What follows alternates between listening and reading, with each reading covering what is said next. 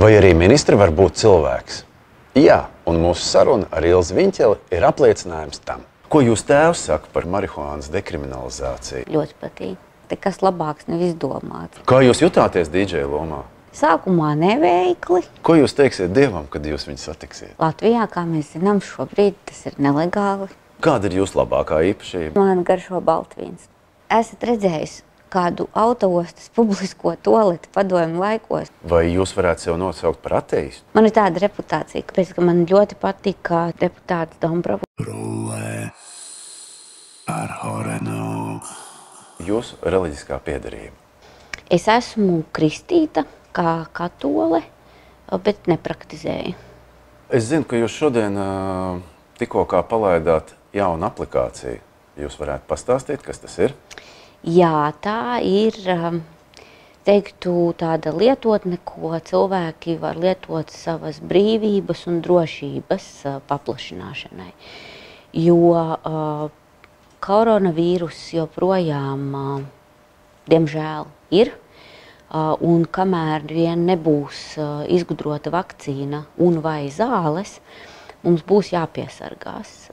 Un šī lietotne ļauj ļoti, ļoti augstu respekt, respektējot cilvēka privātumu un cilvēka datus, uh, vienkārši nepieciešamības gadījumā uh, saņemt informāciju, ka jūs esat bijis uh, ilgāk par 15 minūtēm un tuvāk par diviem metriem kontaktā ar covid inficētu personu. Jūs nezināt, kas tā persona ir, protams, un tā persona arī nezina, ka tā ir bijusi saskarē ar jums. Un tad paliek katra cilvēka izvēle, ko viņš vēlas darīt, kad viņš saņem šo informāciju. Vērsties pie ārsta, sagaidīt SPKC epidemiologu zvanu. Labā ziņa, ka šie dati par tām telefonu satikšanām, ko, ko tās viedierīces reģistrē, paliek cilvēka tālrunī, netiek nekur nenodoti, nesūtīti, un 14 dienu laikā pēc tam tiek dzēsti ja, automātiski. Tātad privātums ir viens no stūrakmeņiem, un tā mēs varam justies drošāk. Sakiet, lūdzu, kā šī lietotne ir pieejama? Kur to dabūt? Tā ir droši vien mobila aplikācija tālrunim. Jā, tā ir mobila aplikācija tālrunim. Tur gan, diemžēl, tā ķeze ir tāda, ka ir jābūt tādam salīdzinoši jaunam uh, telefonam, tai ierīcei. Ar uh, vecajām, labajām, drošajām Nokia pogām tas, diemžēl, nedarbojās. Uh, un to var teikt, kur, nu, mēs, nu, kur mēs lejuplādējam aplikācijas, kas ir App Store un uh, Un tur vienkārši lejuplādē savā bezmaksas, telefonā. Un... jā, bezmaksas tā ir. Un labā ziņa, ka to ir radījusi uh, iniciatīvas grupa, kas uh, neprasa nevienu kapeiku par šo darbu un nodod uh, cilvēkiem lietošanā šo uh, īstenībā augstī. Nu, augstas sarežģītības produktu, tādēļ, lai mēs vienkārši sabiedrība varētu būt uh, un justies drošāk. Vai uh, tā ir Latvijas lietotne vai, vai tā, tā ir? Latvijas? Nē, tā ir Latvijas lietotne. To ir radījuši mūsu pašu IT speciālisti kopā ar Latvijas epidemiologiem, slimību profilaks un kontrolas centra speciālistiem.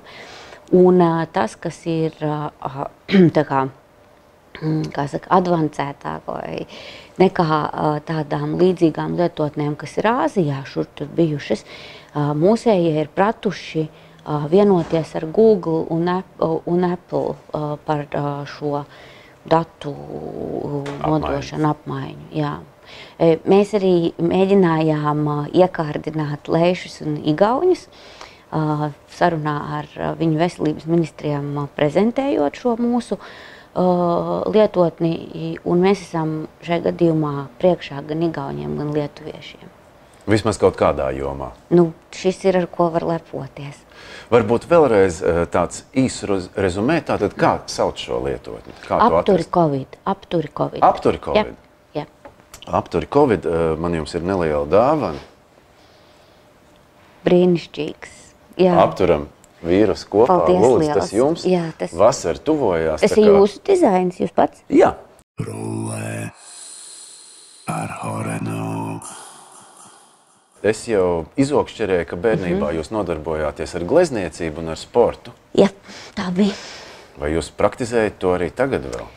Ā, To zīmēšanu, gleznošanu nepraktizēju, diemžēl. Ā, Es mācījos Reizeknas bērnu mākslas skolā. Ā, Un ar sportu es biju skolas izlasē, es biju slēpošanā, distanču slēpošana, ā, skriešana, pusotras kilometrs un trīs soļošana. Sports jums nav sveša lieta. Nē, sports man nav sveša lieta. Un es esmu veidēļojusi salīdzinoši pieklājīgi. Jā. Un, uh, kurš ir jūsu iemīļotais sporta veids? Nu, tā jums jāsako līdzi, ar, piemēram, sporta. Pašai darīt vai skatīties? Es domāju, šajā gadījumā skatīties būtu Man ļoti patīk futbols uh, un um, peldēšana. Um, un tenis šādi. Labi, atgriežoties pie mākslas, vai jums ir kāds iemīļots gleznotājs iecienīts? Marks Šagals, tas man ļoti uzrunā. Ar uh, visiem saviem lidojošajiem objektiem. Viņam ir tādi lidojoši pāri bieži un, uh, un gaļi un ceriņi. Ļoti patīk. Jūsu ģimene, jūs tēvs, es zinu, ka ir ārsts. Jā. Ģimenes lokā jūs arī gan jau apspriežat kaut ko, vai jūs ar savu tēvu konsultējaties kā ārstu? Um, manam papam ir 81 gads, un viņš joprojām strādā. Viņš strādā vienā mazā slimnīciņā, Viļānos. Eh, Un ļoti, man šķiet, dara tādu tā kā misijas darbu, jo tie pacienti, kas viņam ir lielākoties veci un ļoti slimi cilvēki ar daudzām kroniskām vainām, kas, eh, kuri ir ar ielaistām arī slimībām. Un, uh, Un, uh, viņš palīdz vai nu tikt uz kājām, vai viņš ir klāts, kad tie cilvēki nu, atvieglojot ciešanas, kad tie cilvēki mm -hmm. aiziet. Un, uh, es ļoti uztraucos par papu šīs uh, nu, epidēmijas laikā, jo gan viņš pats, gan viņa pacienti ir nu, tāda klasiska riska grupa. Ja tur nedod Dievs uh, trāpītu koronavīrus, tas būtu ļoti, ļoti. Es vispār negribu par to domāt. Uh, un mēs runājām jā, uh, par to, kā viņi pārorganizē darbu, vai viņiem ir ai- aizsarglīdzekļi individuālie.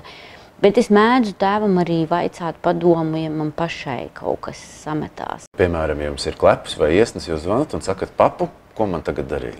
Es viņam mēdzu, jā, nu, ar klepu un iesnām es tiek galā, bet tikai drīzāk vai kaut kādu skaidrojumu analīzēm kādreiz un tā. tā kā.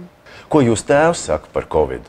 Vai viņš staigā maskā, vai kā viņš izsargājas? Ko viņš par to visu domā? Jā, tas ir labs jautājums. Man jāpajautā, ko viņš par to domā.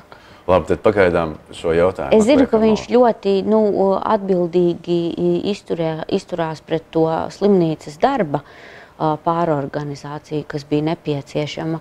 Bet par cik tur patiešām tur ir reizēm tāda tā bēdu leja tā slimnīca, ar to, cik mm -hmm. smagi tie pacienti tur ir. Un tad ā, viņam man šķiet vienkārši nav laika īsti domāt, nu tā filozofiskās kategorijās. Kā ir izmainījies jūsu dienas režīms? Kāds tas bija pirms sākās vīruss un kāds tas ir tagad, kad vīruss ir? Veselības ministrija nav tā visvienkāršākā ministrija, kas um, ir Latvijas republikā. Un tur problēmu ir nu, vairāk kā saprašanas, un tās nekad īsti nebeidzās. Bet, uh, tad, un tas uh, darba ritms bija tāds ļoti daudz sanāksmju, sarunu, faktiski tas tāds runāšanas darbs un lēmumu pieņemšanas. Bet tad, kad sākās vīruss, tad uh, mēs ar kolēģiem, mm, lieliska komanda ministrijā, kas vada faktiski to krīzi, nu, mēs strādājām faktiski 24-7 režīmā. Un pēdējās vienas, divas, trīs nedēļas ir kļuvušas mierīgākas, bet pirms tam tas bija arī brīvdienu darbs un, uh, un uh, ļoti, ļoti intensīvs. Kādas ir jūsu prognozes, kad mēs atgriezīsimies normālā dzīvē? Mēs jau, Covid sākam, dzīvē? mēs jau sākam atgriezties normālā dzīvē. Piemēram, mēs varam runāties un, un būt šeit, un uh, cilvēki var uh, atkal sanākt kopā un uh, iet pārā ēst kaut kur un tā. 9.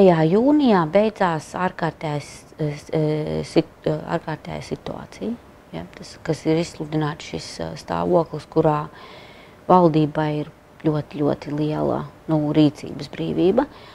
Un tad sākam vairāk atkal paplašinām cilvēku skaitu, kas drīkst pulcēties kopā, lidojumi atsākās. Bet tajā Covid ēnā mēs dzīvosim līdz brīdim, kamēr būs vakcīna. Tas nozīmē, ka mums izmaiņas uh, būs gan tomēr joprojām pasākumu lielumā, tas būs līdz gada beigām noteikti. Teiksim tā, ka mēs esam izsprukuši cauri sveikā. Kā mums tas izdevās? Kāpēc tā? Kāpēc mums mm -hmm. neņem tas vīrus? Uh, bija viena saimas sēde, kur uh, deputāts Dombrava uzdeva jautājumu, kāpēc, nu, kā mēs tā. Un es domāju, lai arī ir krīze un vīrus, bet nu, humoru neviens nav atcēlis. Es atbildēju, ka tie ir īpašie latviešu gēni. Un tad uh, viens deputāts atkal vaicāja, kas ir ar krievu valodīgajiem. Es teicu, ja viņi ir lojāli Latvijai, tad viņi arī neslimo. Tas ir joks, protams. E, tur ir vairāk apstākļi. Mums vienkārši arī tā kā paveicās, teiksim, kā ir.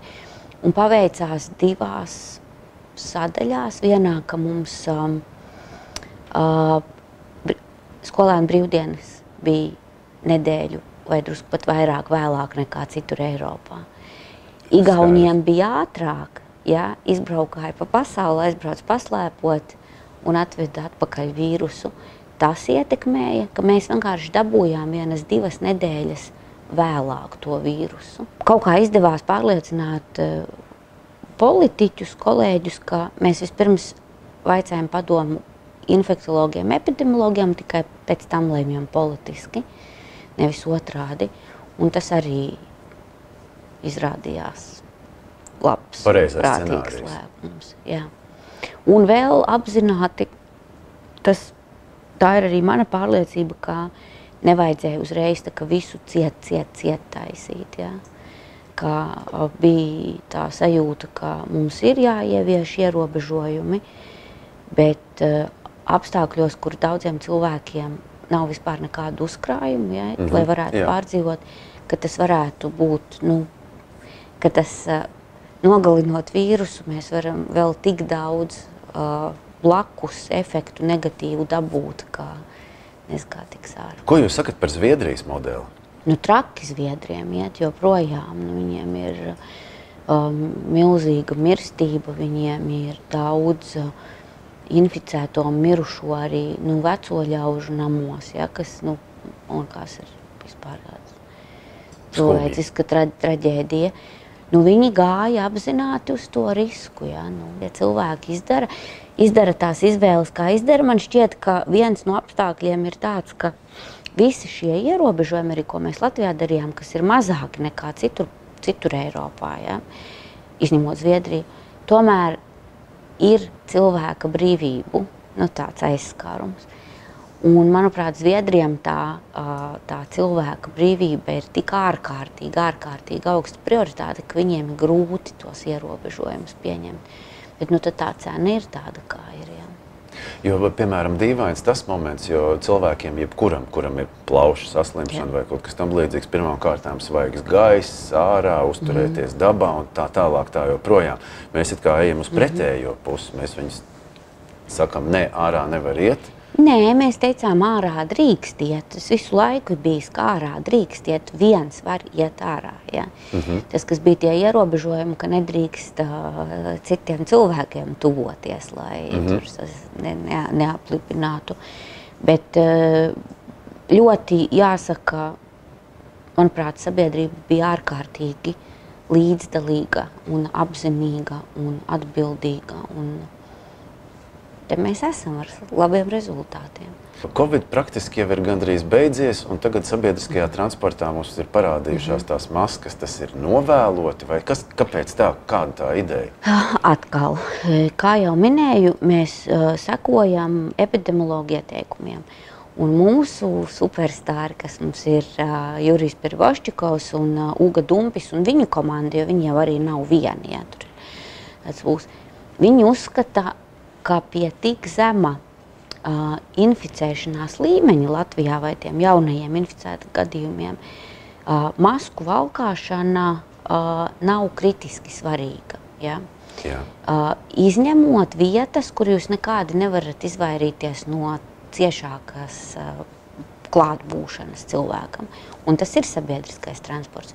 cilvēki tagad ir brīvāki, nav vairs jāizolējās. Uh, Protams, viņi vēlas pārvietoties sabiedriskā transportā, nu, un tur ir tā racionālā doma, ka tad jūs, lai nu, sakot, neapspļaudītu netīšām citus cilvēkus, un, ja jūs esat inficēts, tādēļ tās maskas vajadzīgas. Es dzirdēju tādu anekdoti par maskām, ka, ja cilvēks viens pats brauc savā privātajā Mhm. automašīnā ar to masku, tas ir tas pats, kas viņš iet vakarā gulēt un uzvelk prezervatīvu drošības dēļ. Nekad jau nevar Me- zināt, kas notiek.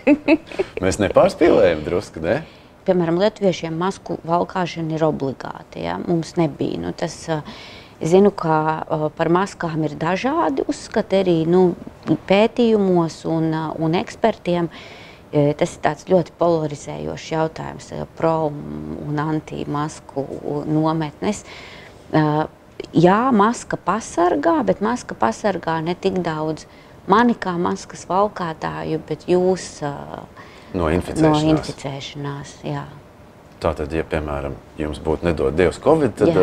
uh, svarīgi ir, lai jums būtu maska, nevis lai man, Jā, ja mēs jā. sarunājamies. bet par cik mēs nekad nezinām, kuram tad no mums ir tas covid, ja, varētu būt. Nu, līdz brīdim, kamēr to atklāja, tad nu, ir vietas, kur tā masku valkāšana ir obligāti nepieciešama, piemēram, ārstniecības iestādes. Ja. Un ne tikai mediķiem, kuri operē, bet eh, šobrīd medicīnas eh, nu, iestādēs principā gan pacientiem, gan, eh, gan um, apkalpes, per, nu, aprūpējošam personālam, gan arī mediķiem. Tad, principā, mums ir eh, jāsaka jums, kā ministrei, paldies par to, ka mums nebija komandanta stunda un kaut kas Jā. tam līdzīgs. Tas jums paldies.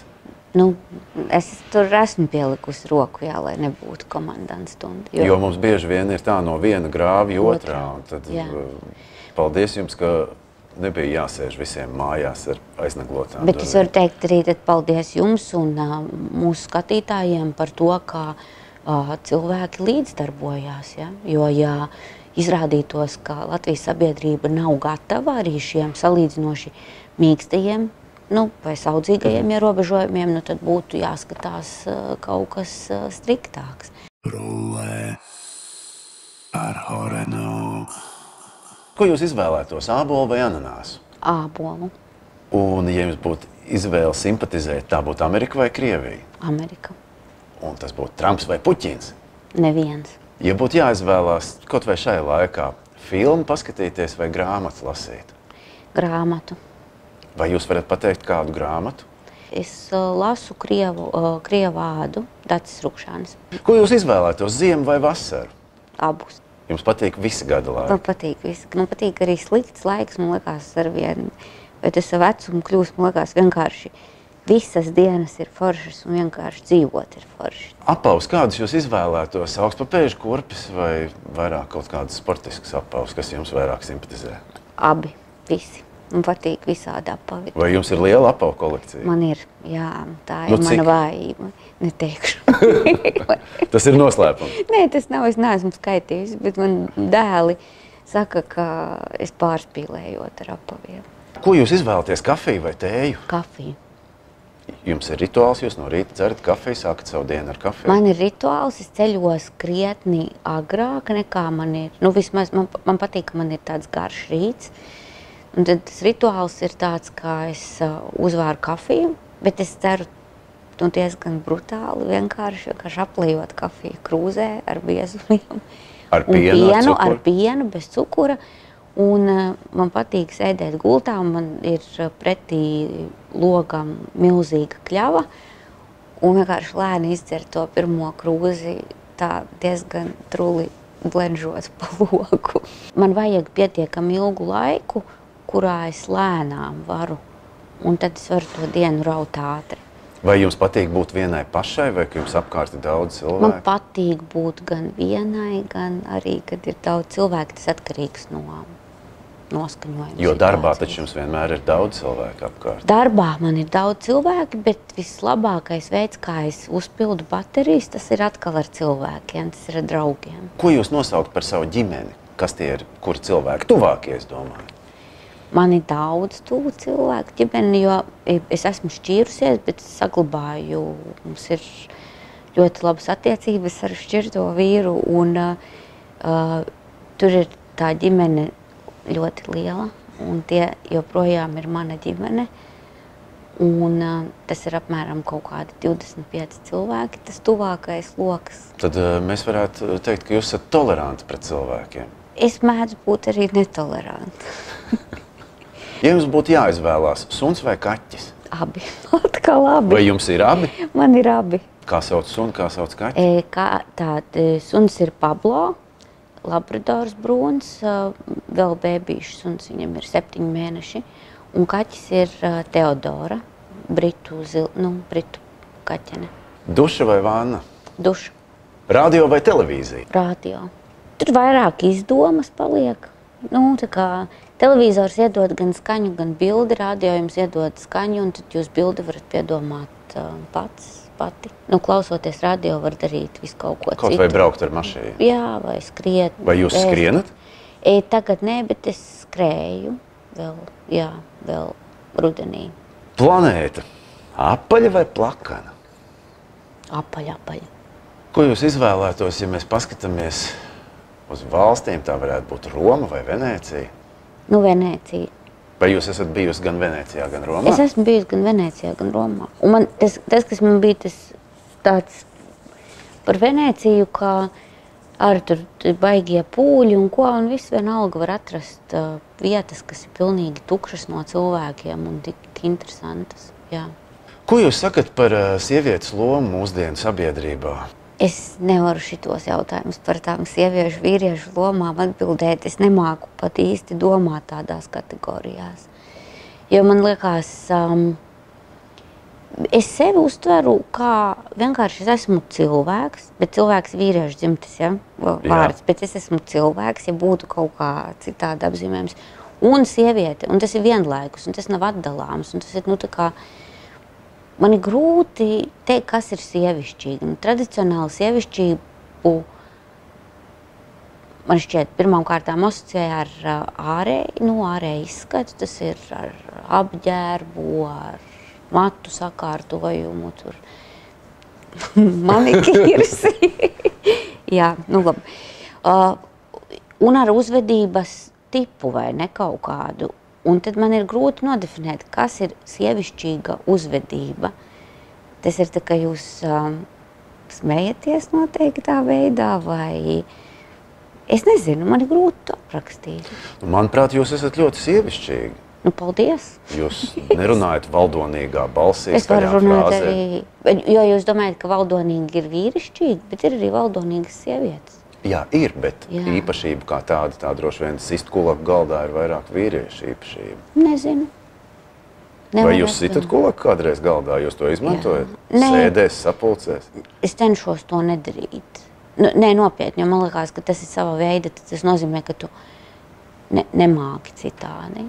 Es protu gan sarunāt, es protu arī sakašķēties uz līdzenas vietas, eh, bet man nav problēma tā kā pakāpties atpakaļ un atvainoties. Jūs mēdzat atvainoties. Un es cenšos to darīt eh, nu, ar vienu, nu, ka tā ir norma, tā ir norma tai uzvedībā. Ja tu saproti, ka ir nošauts garām, tad uh, nekas nevar būt labāks kā vienkārši to atzīt. Kā es esmu nošauts garām, es esmu kļūdījusies, un atvainoties, es esmu aizvainojusi vai, vai darījusi kādam pāri. Jūs tagad esat eh, zināmā mērā, mēs ar jums esam kļuvuši par kolēģiem, jo jūs nesen mēģinājāt sevi DJ lomā. Sākumā neveikli, eh, un eh, pēc tam jau tā kā aizgāja.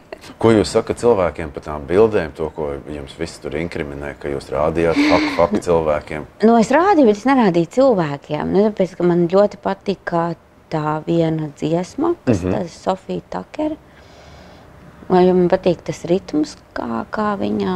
Un, um, un, um, viss man nav vairs īsti ko pat uh, piebilst. Tas pilnīgi noteikti nebija nevienam adresēts. Ja. Tas bija jūsu emocijas. Tas ir mans, nu, kad es, es arī saku rupjas vārdus, braucot ar mašīnu, ja kāds nobrauc par tuvu vai sabremzē priekšā. Jūs vispār ātri braucat ar mašīnu? Nē, strauji? es esmu pieklāta, nu, es esmu disciplinēta braucēja. Jūs man- ievērojat distanci. Es ievēroju distanci, es palaidu garām, ievēroju rāvēslēdzēju principu. ā, ne, nepārsniedzu ātrumu vairāk par 10 km/h apdzīvotās vietās. Bet vispār jums patīk braukt ātri? Man ir savā uh, komforta uh, robeža um, ātrai braukšanai. Un es vienreiz runāju ar uh, profesionālu autobraucēju, un viņš teica, ka tas ir cilvēkam, ir komforta robeža. Tā, un man tā robeža ir ap 120, Cik sen jūs vadat mašīnu? 28 gadus. Kādu mašīnu, jūs varētu izvēlēties jebkuru? Mm -hmm. Kādu jūs izvēlētos? Kāds ir jūsu sapņu auto? Mazu. Man patīk mazas mašīnas. Um, es braucu vienus gadus 15 ar uh, mini kūperu. Tas man tāds mīļš, uzticams draugs. Bet, ja es varētu izvēlēties vienu tādu nu, izējamo mašīnu, es gribētu vecu Mercedes kabriolu. Jūs esat Mercedes fans. Nē, man patīk viens specifiski. Starp citu, Rīgā ir viens, viens tāds melns, vecs. Es nezinu, kas tas varētu būt. Kaut kādu 50. se- gadu ā, esmu ievērojis. Nu, tāds skaistulis, aktu šausmas. E, Nedomāju, ka tas ir praktisks ikdienas braucamais, bet nu, tā, ka tāds ir tāds. Izbraucieniem brīvdienās. Tas būtu. Jā. Tā kā, tā ja nu gadījumā kāds grib uzdāvināt jums, tad Nē, eh, es nevaru, diemžēl, pieņemt. tas būtu kukuls. Nedrīkst, amatpersona nedrīkst. Jā, tas, nu, tas ir aizliegts. Ja es jums gribētu uzdāvināt Nē. auto, piemēram, Jūs, jūs man varētu pieņemt? uzdāvināt kaut ko līdz 50 eiro vērtībā, bet man ir aizdoms, ka tas Mercedes nemaksā 50 eiro. Kas ir dārgākais, ko jūs esat turējis savās rokās? Es domāju, tādā naudas izteiksmē. Uh, Vienā darba vizītē Azerbaidžānā vienas pusdienas bija un viņu satiksmes ministrs Azerbaidžāņu pēkšņi uzdāvināja man uh, briljantu auskarus un gredzenu un teica, ka es jau zinu, jums Latvijā ir tādi tiešām stulbi likumi, ka jūs nedrīkstat pieņemt dāvanas, bet es jums nedāvinu kā ministrs, ministre, es jums dāvinu kā draugs. Un es to cilvēku redzēju pirmo reizi dzīvē, nu kāds draugs, ja? Tad tas laikam bija dārgākais, ko es esmu turējis rokās. Un jums vajadzēja atdot to dāvanu? Es ieliku labklājības ministrijas seifā un, un mēs pieregistrējām ministrijā, jo man nebija neprātā. Es teorētiski varētu to paturēt sev, ja es izpirktu, nu atpirktu. Jā. Jo tas ir valsts īpašums, amatpersonai dāvina. Bet man nav iekārienas uz briljantu auskariem un greceniem. Jums bieži dāvina kaut ko kā amatpersonai, Nē, tad, kad nē, jūs tiekaties? Nē. Vai Man ir- Azerbaidžāna ir vienīgā tāda Tā, ir vieta, tā, tā, tā bija vieta, kur pārsteidza jā, ar tiem briljantiem, bet citādi nē. Man ir tāda reputācija, ka man nedāvina neko. Kāpēc? Kas tā par reputāciju? Tā ir reputācija, ka es vienkārši šādas lietas neakceptēju. Ja es esmu politikā, man vienkārši nedrīkst. Nu, tas ir gan ar likumu aizliegts, gan man par šo ir zero tolerance par jebkādām lietām, kas ir saistītas ar uh, koruptīviem vai pat ar ēnu uz koruptīvām uh, lietām. Jūsu gadījumā varētu teikt, ka tas ir ētikas jautājums. Nu, tā es tā ir ētika. Tas ir, es domāju, ka tas ir profesionālitātes jautājums. Es nevaru strādāt politikā, ja man līp uh, uh, publiska nauda pie rokām. Mūsu klausās eh, daudz jaunu cilvēki. Mm Mhm. Ko jūs viņiem ieteiktu? Jūs esat uh, jau divkārtēji ministri, varētu Jā. teikt tā. Varbūt kāds taisās iet politikā, mm. -hmm. domā, kā tas ir iespējams. Nu, mm -hmm. Kā kļūt par ministri? Mans ieteikums būtu tāds, pirmkārt, nemetiet uzreiz domu nost par to, ka uh, jaunais cilvēks uh, var redzēt sevi politikā, vienalga puiši vai meitenes. Jo tā ir ļoti interesanti. Tā nav viegla maize, bet tā ir ļoti interesanta maize. Tur nekad nekas neatkārtojas. Šķietam, it kā atkārtojas, bet tomēr tur visu laiku jums jābūt formā, jums jādomā, jums jālasa. Nu, tas man šķiet, mans standarts politikā. Ieteikums būtu, protams, apgūt izglītību un vēlams ne politologus. Ja, tas nav, nav vajadzīgs. Iemācīties kaut ko, kas interesē, ja, izstudēt uh, vienalga medicīnu, o, vai mācīties par māsu, vai jebko, dabūt pamatu arodu profesiju, pastrādāt tajā profesijā un tad iet politikā. Uh, un ne necerēt uz ātriem panākumiem, jo tas, kas arī Latvijā ir bijis, ir jauni cilvēki strauji ievēloties, nu, uz vilku, nu, labs saraksts ievēlās, ir baigais risks sapūt, nu, kā izvirst, ja, ja jūs tiekat agri pie varas bez tādas dzīves pieredzes, es nesaku, ka vajag sagaidīt 50 gadus, ja, bet, nu, tā kā, uh, tai karjerai vēlams ir jābūt pakāpeniskai, jo pati es esmu, nu, sākusi tieši tāda, ka no puķu meitenes politikā. Ja?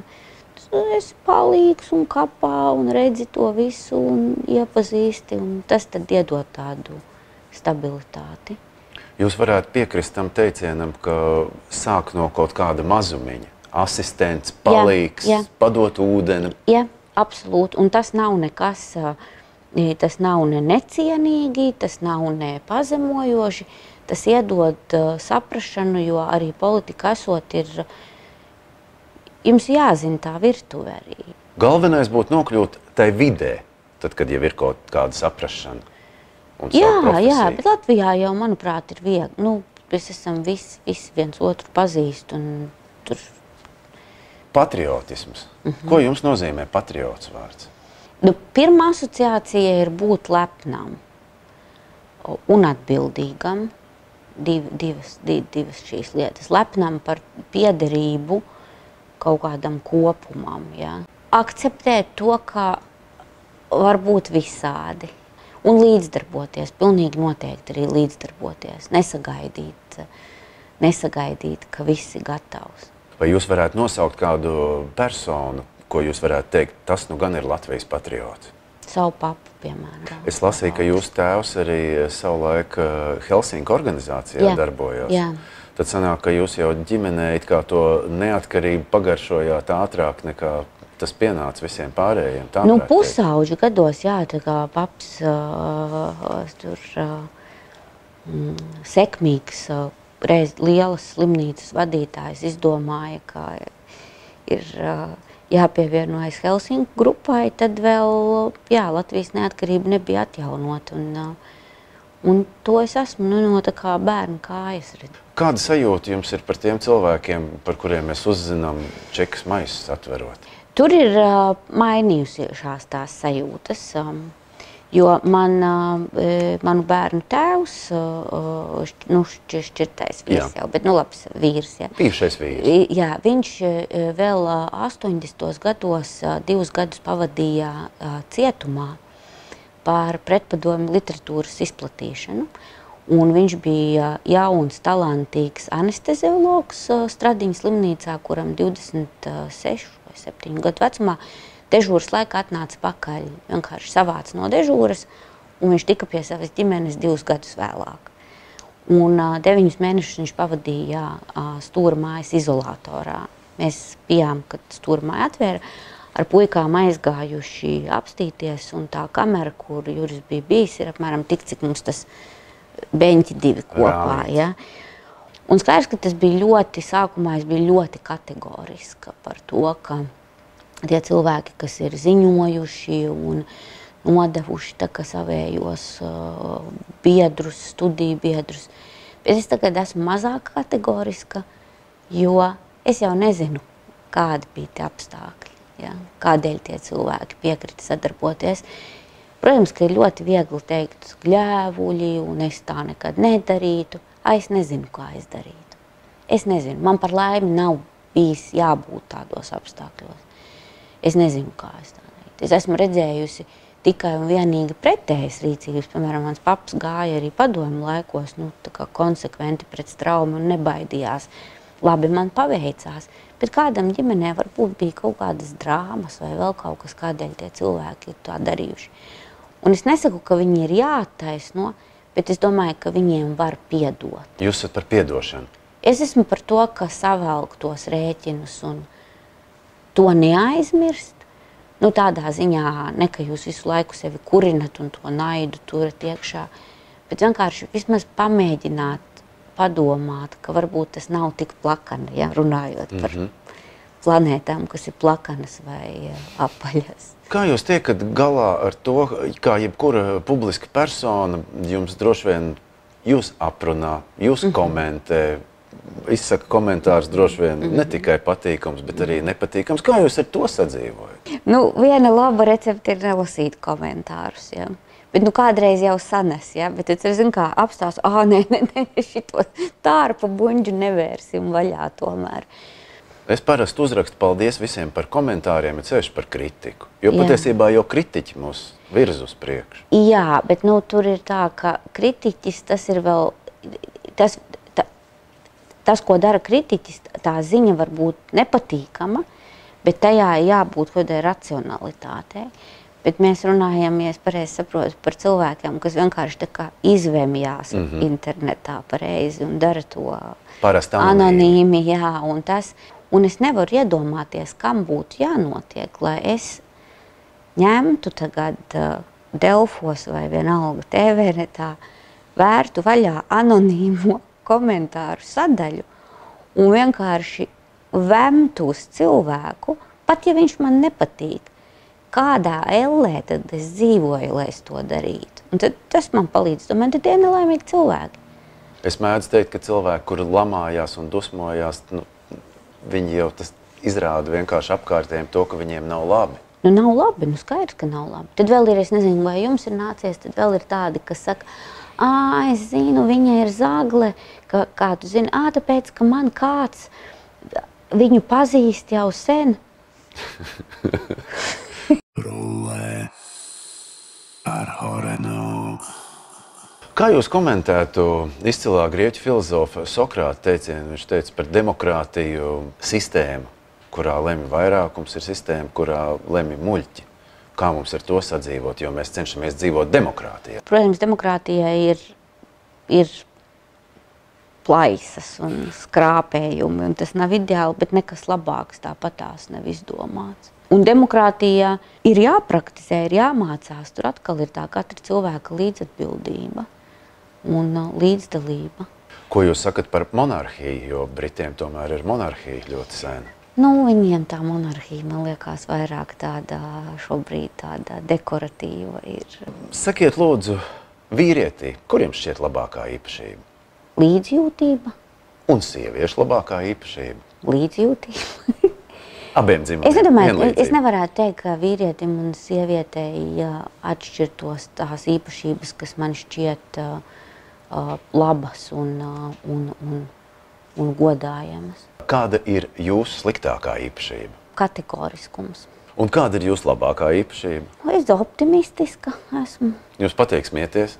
Man, vis, man, pat, man patīk dzīvot. Man vienkārši liekas, ka kas labāks nav izdomāts, kā dzīvot jūs atstājat ļoti cilvēcīgu cilvēku iespēju. Es mēdzu atstāt ļoti kontroversālu iespēju, jo jums šķiet, ka es esmu cilvēcīga, bet es esmu dzirdējis arī to, ka es esmu nu, tāda briesmone, ka tas ir tas kontroversālais, kas man pašai. Bet vai jūs varētu piekrist tam, ka to, ko cilvēki saņem pretī, tas jau ir tikai viņu spoguļu attēls. Ja kāds jums uzbrūk, tad jūs aizsargājaties droši vien. Bet, zin kā, man liekas, ka tur kādreiz var nostrādāt, ka šķiet, ka uzbrūk, kaut gan nemazam neuzbrūk. Un tad tās ir kaut kādas manas pašas traumas vai, vai, vai vājās vietas, kādēļ es uh, kaut ko uztveru kā uzbrukumu. Kas ir laime? Da viss ir laime. Dzīve ir laime. Arī nelaime var būt laime. Uh, ir maz lietu, ko var kā absolūtu nelaimi uztvert, manuprāt. Vai jūs varat to nosaukt? Nu, tuva cilvēka uh, pēkšņa nāve, piemēram. Jā nu, tur baigi grūti, lai no kuras puses lūkotos, uztvert to kā laimi. Bet savukārt laimē gan ir daudz vairāk to seju, manuprāt. Nu, tā kā plašāks tas jēdziens. Vai jūs varētu nosaukt dažas no tām? Nu, laime ir iet šo, nu, tā kā vakar, piemēram, ja aizvakar, kad kolēģi izdomājām, ka mēs nerunāsim to darbu sarunu nu, pie galda un tējas, iesim pāgens kalnu izmest loku. Nu, tīra laime. Jums ir interesanta saruna, man bija interesanta saruna, viss zied, ceriņas maržo kā traki, skaists laiks, nu, laime pilnīgā. Nu. Jūs mīļākais rakstnieks? Markes, Garsī Markes. Jūs mīļākā mūzika? Oi, tās ir daudz, man daudz patīk. Bet, ja es jums kā dīdžiem jautātu, ko jūs spēlētu cilvēkiem, kas jums šķiet tāds, ko jūs viņiem dāvināt? Nu, es stingu spēlētu noteikti. Un es spēlētu mjūzu, un es spēlētu cepelīnus. Dzirdot to, ko jūs nosaucāt, eh, es gribētu teikt, ka droši vien jūs klausāties arī dziesmas tekstus. Klausos gan. Bet eh, es esmu lasījusi, ja kāds man teica tādu interesantu uh, atziņu par mūziku un tekstiem, ka tad, kad cilvēks esot iemīlējies, tad dzird mūziku, un kad ir personiska drāma, tad dzirdot tekstu. Kas jums visvairāk nepatīk cilvēkos, riebis? Stulbums. Šeit jūs esat viens prāts ar Sokrātu, starp citu. Viņš teica, tāda cilvēku muļķība ir tas, kas visvairāk. Nu, tas ir tā, ka oh, tur es nevaru. Un es saprotu, ka nav jau cilvēks vainīgs ja, pie tā. Bet, nu... Kas ir netikums, kāda slikta īpašība, kur jūs varat saprast, varat piedot? Gļēvumu. Tas varbūt sasaucās arī ar tiem čekas maisiem. Ne? Nu, tas sasaucās ar to, ka mēs jau nezinām, nu, kā tam cilvēkam ir. Teiciens vārdu kopums, devīze, kas jūs iedvesmo? Tas garais Vonegūta teiciens, it kā Vonegūta, viņš, ko viņš ir aizgūst par to, ka Dievs dod to prasmi saprast, saprast. Tā jēga bija tāda, lai ir spēja saprast, ko var ietekmēt, ko nevar ietekmēt. Jūsu mīļākais ēdiens un dzēriens? Palaka panīra tāds ir, kas ir sindiešu siers ar um, ar um, spinātiem. Un, ja mēs runājam par dzērienu? Man garšo ūdens, un, no, un man garšo baltvīns. Vai jums ir kāda vēsturiska personība, kur jums tiešām riebis? Staļins. Nu, tāpēc, ka man liekas, tas ir sinonīms nelietībai un ciešanām. Vispār, nu, šie apsēstie diktatori, tie, tas ir kaut kas, kas man vienkārši pumpas uzmet. Ja jums būtu iespēja izvēlēties valsti, kurā jūs vēlētos piedzimt? Indija un um, Amerikas Savienotās valstis. Vai jūs varētu komentēt arī, kāpēc? Par Indiju, jā, es varu komentēt kaut kas, zin kā kādreiz domāju, ka varbūt esmu kādā dzīvē citā tur arī bijusi. Man vienkārši tā valsts tā kā paņem un uzrunā, un es zinu, ka Un nebaida ne tas hauss tur, ne tie cilvēku pūļi, ne, ne tā nabadzība. Jo tā ir vieta, kuras jūtos nu, absolūti brīva. Nu, tā, tā ir vieta, kas uh, ir pilnīgi skaidrs, ka tur nav vērts pat mēģināt neko ietekmēt. Tu vienkārši plūst un ļaujies. Viss, un dzīve tevi nes. Ne Latvijā, ne Eiropā to tā īsti nu, kas būtu jāiemācās ja, arī šeit. Jūs neesat no tiem cilvēkiem, kurš saka, fuj, tur viss ir netīrs un man tas nepat. Horen, es esmu piedzīvojusi savu bērnību padomu savienībā. Ja jūs esat redzējis kādu autostas publisko toaletu padomu laikos, Vai man neviens stacijas? cilvēks neiestāstīs, ka Indijā ir šausmīgāk. Nu, nav. Un kas Amerikā jūs vilina? Vilina tas, ka pirmkārt viņiem ir izteikta otrās iespējas, tā kultūra, kas mums nav tik daudz. Ja, jūs vienkārši dodat tam cilvēkam, labi, viņš ir nokļūties, viņam kaut kas tur nezinu, sameties. Bet nē, tu dod viņam to iespēju. Tas man ļoti, ļoti patīk. Un otrs, ka viņi ir tāds, tāds ka viņi no visas pasaules ir paņēmuši to krāsaino, to dažādo un spējuši dažviet uztaisīt tādu unikālu, tādu jaunu sakausējumu. Laikmets, kurā jūs gribētu dzīvot, ja jūs varētu izvēlēties? Tagad. Un, ja jums būtu burvju nūjiņa vai zelta zīltiņa, jūs noķert, mm -hmm. nu, kas būtu tā viena vēlēšanās, un, piemēram, zelta zīltiņai parasti zelta zīltiņa dod trīs vēlēšanās. Mm -hmm. Tad viena un trīs. Man nav pat ko pavaicāt, jo man šķiet, ka viss ir Bet ļoti varbūt, forši. Bet varbūt apkārtējiem vai valstī vai jūsu mīļajiem? Lai katram cilvēkam uh, būtu iespēja darīt to un realizēties tā, kā viņš grib. Un lai mazāk ciešanu. Ko jūs domājat par marihuānas dekriminalizāciju? Tas jādara. Nu, tā tas ir mana pārliecība. Tas ir laika, laika jautājums. Domāju, tas ir tāpat kā ar vienzimuma attiecību atzīšana, tas ir laika jautājums. Nu, tas,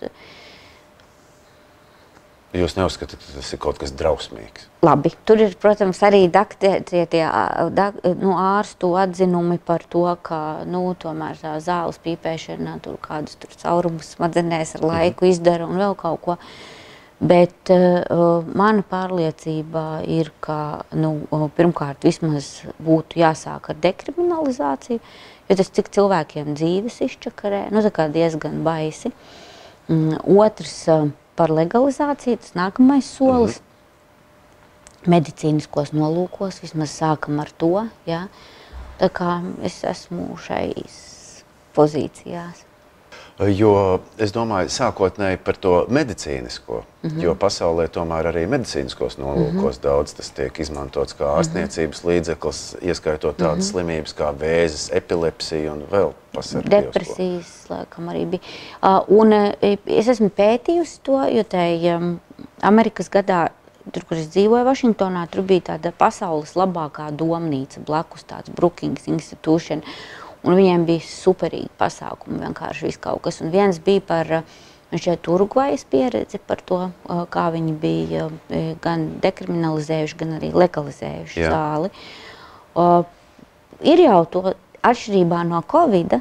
Par zāles legalizāciju ir kur paskatīties piemērus un var pavērot tos efektus, ko tas ir sabiedrībā devis. Ja? Tur ir, ir citi cilvēki, citas valstis jau to ir darījuši. Mēs varam to pieredzi apskatīties un izveidot to, kas mums der vairāk.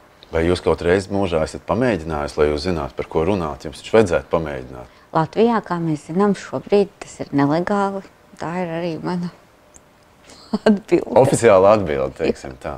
Ko jūs novēlētu jaunajai paudzei? Es varbūt mm -hmm. konkretizēšu Latvijā.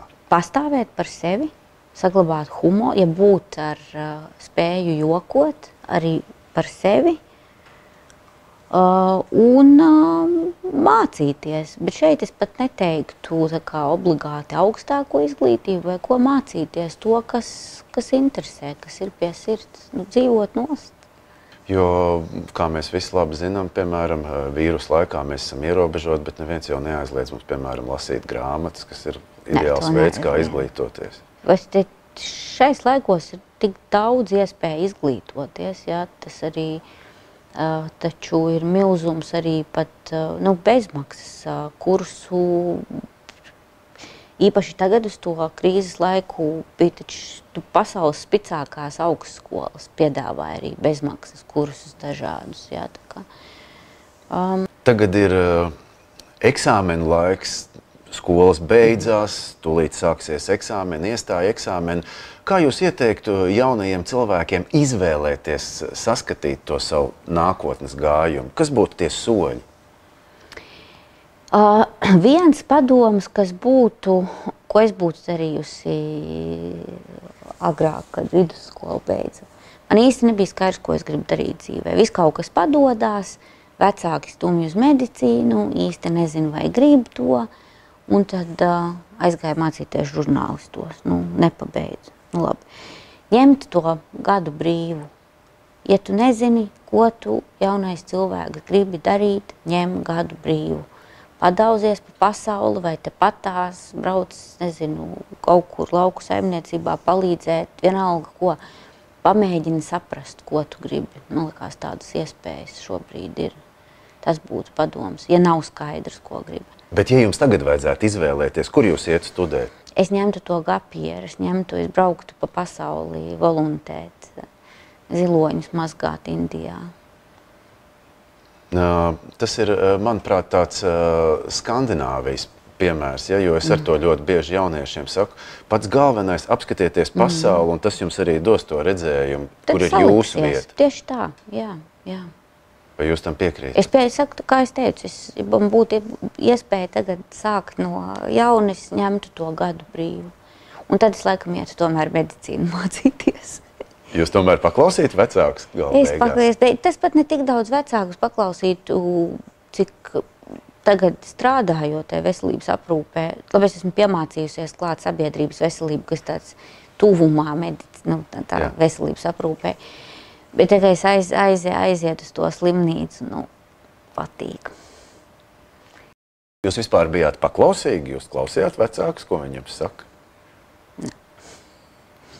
Bet varbūt tas dumpinieku gars ir tieši tas, kas jums ir palīdzējis. Jā, jā. es esmu pateicīga saviem vecākiem par to, ka savā veidā viņi nu, audzinot to ielika kā tādu bāzi, ka tev nav jāpieņem autoritātes bez iebildumiem un ka tev ir viedoklis un tev jāspēj formulēties, bet man tad ir jāspēj tas savus viedoklis pamatot. Ja var jau kapāties ar kādu, bet ideālā variantā, ka jums ir arī kaut kādi argumenti. Vai, vai jūs varētu nosaukt kādu no saviem guru, no kuriem jūs mācāties? No tēva, nu, atkal man ir jāsaka, kā piemērs. Tad uh, es esmu ļoti daudz mācījusies arī no sava vīra. Um, tad um, Sandra Kalniete ir cilvēks, kas, ko minētu pie tiem, no kā mācījusies esmu. Un par autoritātēm tiem ir cilvēki no mākslas, ko es uztveru kā autoritāti. Un tie ir, es saprotu, ka tas varbūt tā snobiski drusku, bet jaunā Rīgas teātra blice, aktieri ne, ne tik daudz režisori. Nu, tie man ir, jāsaka, ir autoritātes, un tur ir tā, ka... Jums patīk teātris? Man patīk, jā, teātris.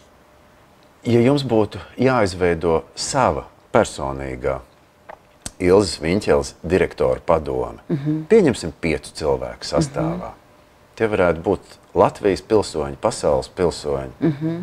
Pamēģinam. Es ņemtu kādu, kas ir radošais, es ņemtu kādu cilvēku, kurš ir uh, uh, biznesu proti, es ņemtu kādu zinātnieku, es ņemtu ārstu, nu, mediķi, mm -hmm. un es ņemtu politiķi. Tas būtu tas pārklājums. Vai jūs ņemtu arī tur kādu reliģisku personāžu, ar reliģiju saistītu? Nē. Ja man būtu pieci tikai jāizvēlas, nē, es neņemtu. Vai ir kādi svētie raksti, izņemot kristietību, kurus jūs esat studējusi, lasījusi, ar kuriem jūs esat iepazinusies? Man nav tāda faila. Es zinu, ka tas nav ko. Jā, man ir kaut kā tāda īpatnēji tā sajūta līmenī par šādu veidu literatūru attieksmi. Tur jāpadomā, kāpēc. Es nezinu. Vai jūs varētu sev nosaukt par ateistu? Īsti arī nē. Es esmu kristīta, ja? un bērni visi ir kristīti. Un, uh, Par ļaunu nenāk? Nē, galīgi nē. Ko mums darīt, ko jūs ieteikt, lai visas tās reliģijas, lai mēs visi dzīvotu draudzīgi? Jo visi kā runā par vienu un to pašu, par cēlām idejām, par ētiku. Kā mums visiem kopā dzīvot kā brāļiem un māsām? Apzināties, ka katrs cilvēks ir, uh, nu, ir, ir personība un katram ir nu, respektēt. Es domāju, ka respekts ir un pieņemšana. Mēs to varētu apvienot ar vārdu tolerance. Jā, jā. Un visbeidzot, ko jūs teiksiet Dievam, kad jūs viņu satiksiet? Prieks iepazīties. Man bija prieks iepazīties ar jums. Pie mums šodien bija Ilze Viņķele, veselības ministra. Cilvēks un cilvēks. Paldies, ka atnācāt. Šobrīd aktuālākā ministre, veselības ministre Ilze Viņķele. Jūs uzzinājāt viņas viedokli. Izsakiet arī savu viedokli komentāros un sekojiet mūsu kanālam Rulē ar Horenu. Rulē ar Horenu.